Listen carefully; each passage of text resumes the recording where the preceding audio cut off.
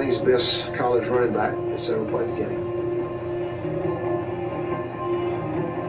The impact that he's had on Georgia football, the SEC, is just unprecedented.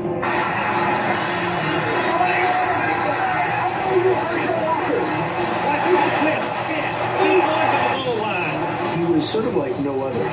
Herschel's got 10, 15, 20.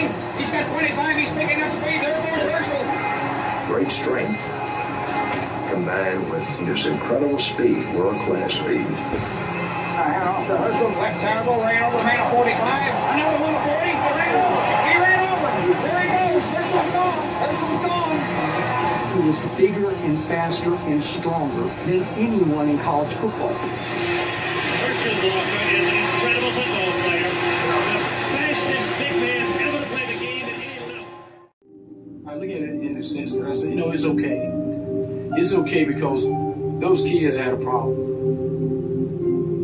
It's okay you took it out on me because it made me who I am.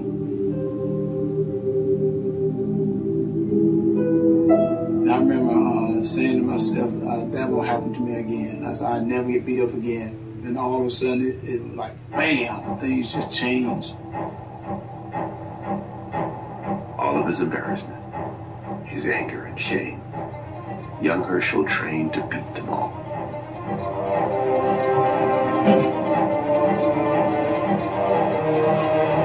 I used to go out there and run on the railroad track. And I used to try to race the train. train used to go by and I run. Push ups, sit ups, push ups, sit ups, all the time.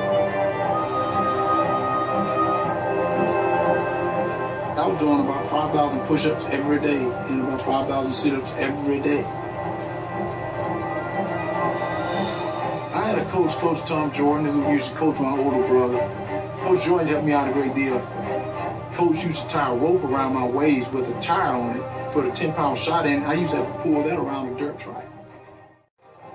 In 40 years of teaching, I've never had a kid as focused as Herschel was. What can I do to get stronger? What can I do to get faster?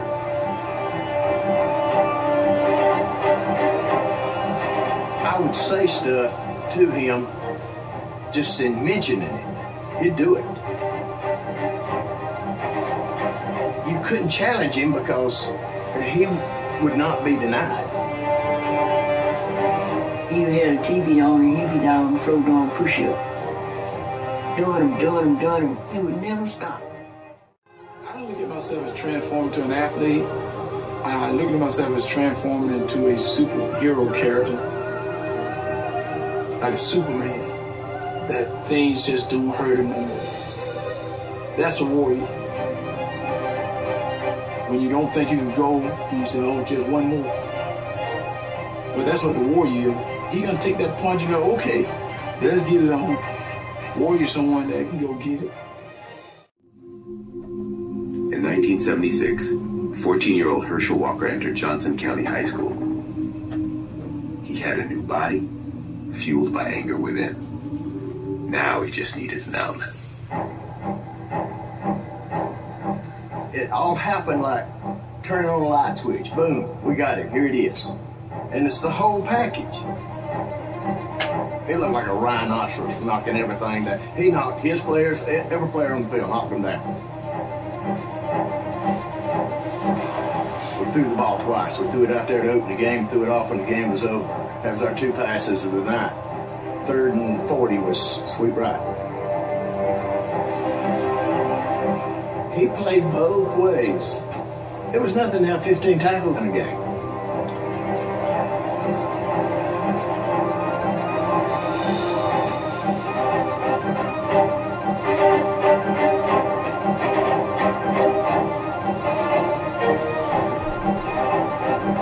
I can go get it right there. So I can run like a deer and, and, and I didn't mind hitting. Standing 6'2 and weighing 220 pounds, Herschel amassed a high school record 86 career touchdowns, 3,167 yards in his senior year. Herschel carried Johnson County to its first and only state title, using a drive and focus foreign to most teenagers. I would get up in the morning before I went to school, go for a run, come back and take a shower, and I go to school. Then I go to practice. Then I go home and I practice again. Do my homework. Before I went to bed, I used to do more sit-ups and push-ups. That's what I mean by focus. You just mentioned things. Hershey might better be, get your grades up if we're going to talk about college. Gosh, she's valedictorian all of a sudden. He would come home at night and uh, study real hard and lay on the floor. Sometimes I would go in there and wake him up to go to bed. He would fall off to sleep with his book on his chest. From the kid teacher sat in the corner to valedictorian. From outcast to the number one football recruit in America. Herschel Walker had transformed himself. Fortunately for us, we got down to Tennessee 15 to nothing in the first half of the opening game. I remember there was about 92,000 people there. And there was only 2,000 in it from Georgia. And I think they put them in the end zone so they couldn't be seen or heard. And, and that was a chance starter. We want Herschel. With Georgia down 15 to 2, 18 year old Herschel Walker entered his first college football game. 15 to 2 Tennessee leading. Crowd roaring against trying to make them drop it. Then it happened. We hand off to Herschel. There's a hole. Five, 10, 12. He's running over there. Over to Herschel Walker. My God almighty, he ran right through two men. Herschel ran right over two men. They hit him dead away inside the nine. All I remember is hitting his leg, and it was like I hit a tree trunk. It was the hardest thing I've ever hit. A footprint here, a footprint here. And I saw Walker run into the end zone for his first collegiate touchdown. He drove right over our church, just driving and running with those big thighs. My God, a freshman. We were undefeated playing Notre Dame, who had all these big-time guys. No back in the whole country had gained over 100 yards against the Notre Dame defense. That was a terrific defense. And, you know, this is this little kid from Wrightsville, Georgia.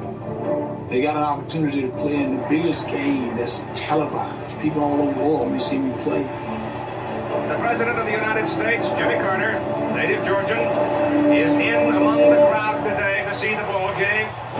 Here's Georgia now, first possession of the ball game.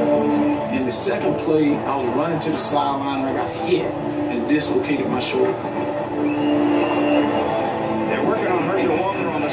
Right now. If he's injured. Next thing, the trainer's next to me telling me Herschel's finished. Uh, no, that's not happening. Let me lay over here and he popped that back and joint. I shook it off and said, okay, let's go. Herschel Walker's warrior ran through the pain of a dislocated shoulder. His 150 yards rushing and two touchdowns earned him MVP honors and delivered Georgia its first undisputed national championship.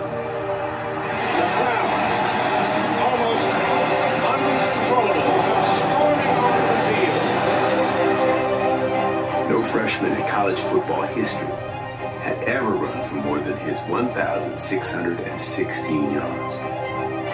In five months, Herschel had gone from a shy, unsure backup to the most famous man in college football.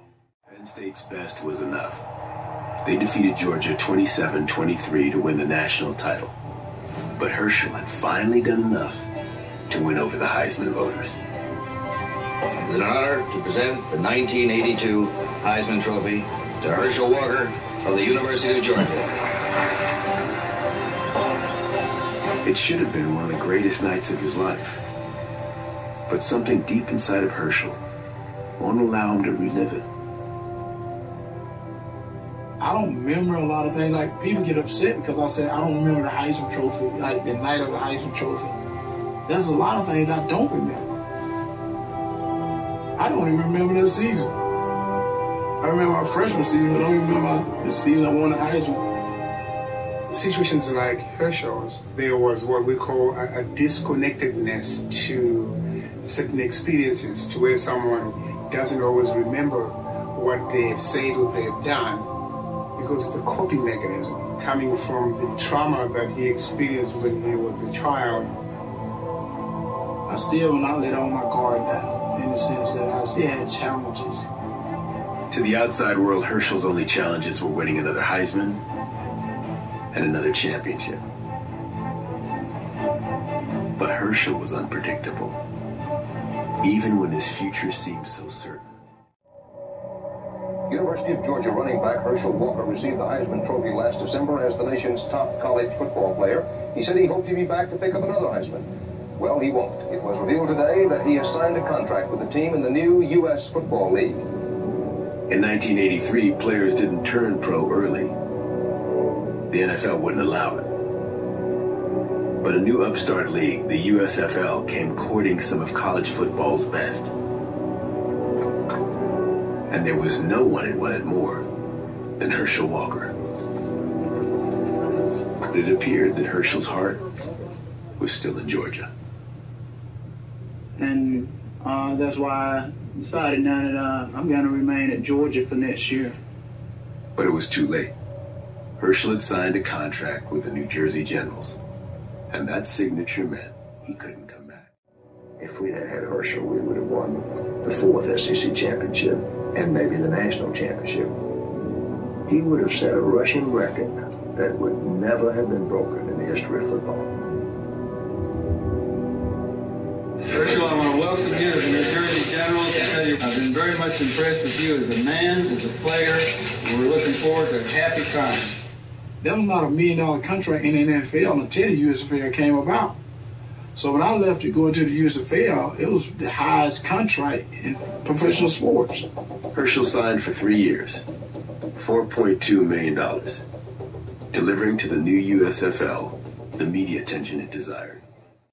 In three seasons, Herschel rushed for 5,562 yards.